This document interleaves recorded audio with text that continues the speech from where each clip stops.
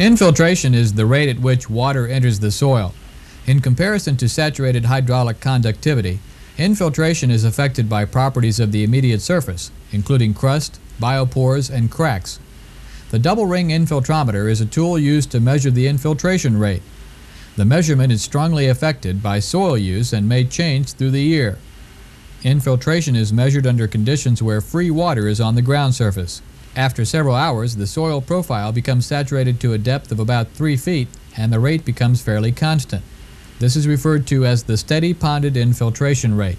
Knowledge of infiltration is extremely important because it uh, determines uh, how much of the water that falls on the soil, how much of the precipitation actually gets in to the soil where it can be used. Uh, it's important for uh, uh, irrigation as it is for uh, dryland agriculture. And the, the various models that have been developed for prediction of erosion for our agency all have estimates of uh, infiltration because it's the water that doesn't infiltrate, it's the water then that runs off from the soil that determines the, uh, or is very important in determining the amount of erosion. And, and the method we have here is the classical uh, approach that has been used for 75 years for measuring uh, this uh, so-called steady ponded infiltration rate. There's uh, an aspect of the uh, setup here that's very important, and that is how deep the uh, you insert the rings in the soil. I think you can visualize that in order to measure the infiltration rate, you need to have the rings down in the uh, layer of the soil that limits the infiltration rate. And in this soil, that will be uh, what we call the uh, plow layer. And we'll want to insert these uh, rings the order of uh, four to six inches into the soil.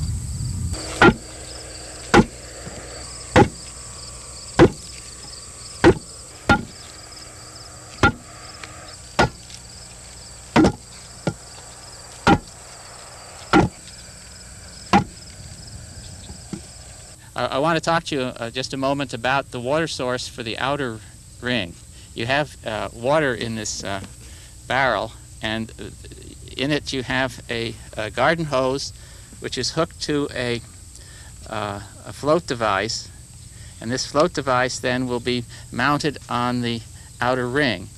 And we will then be able to keep the water level in the outer ring at the uh, at the level that we desire. And the water, uh, I should mention, feeds by gravity from the uh, water source here over to the uh, outer ring.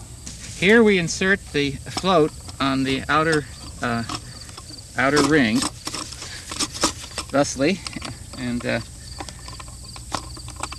now we're in position and ready to go. Now we're going to fill the uh, inner ring with water, bringing it up to approximately the same level as in the outer ring. And just to recapitulate, the, the water in the outer ring is uh, being controlled by this uh, float valve that we talked about. And you see we've put uh, an energy breaker there of uh, straw uh, because we don't want water impacting directly on the on the soil because it will cause dispersion perhaps. So we just pour this in.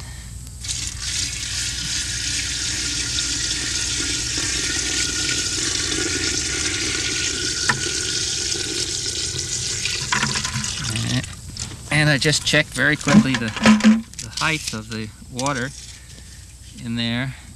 And that's, uh, make sure that that's about the, the same as the level in the uh, outer ring and which it is. So now we're ready to uh, attach the device for measuring now the rate at which the water moves into the soil from the inner ring, buffered as you can see by the uh, envelope of water in the outer ring, which uh, reduces and prevents lateral water flow. We want to uh, talk to you now about uh, measuring the rate of water movement out of the inner ring. And, and that is really what we're uh, after here. You recall we have a, a, float device that we use for metering the water into the uh, outer ring, but that is uh, uh, really too crude an approach. And what we're going to be using here is a compact constant head permeameter. And here we have the uh, water source from the permeameter. It's placed in the uh, inner ring, as you see, and uh,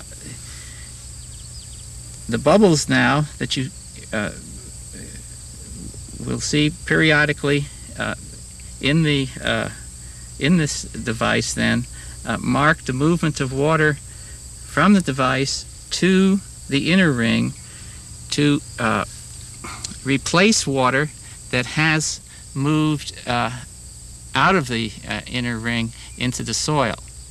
So with this device, we can keep the water level constant in the uh, uh, inner ring, and we're then getting a measure of, of how fast the water moves into the soil from the uh, from the inner ring.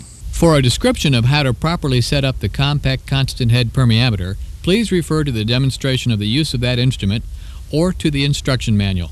Now we want to initiate the measurement of the uh, rate at which the water is moving out of the uh, inner ring. And we do that by uh, finding an even uh, minute uh, time here and marking this tape as you see here.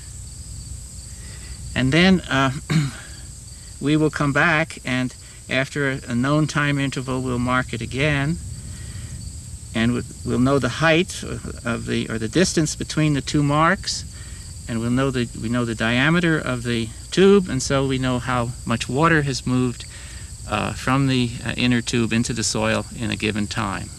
Now here we have almost uh, three minutes elapsed. And when it has we're going to mark this and as you see here.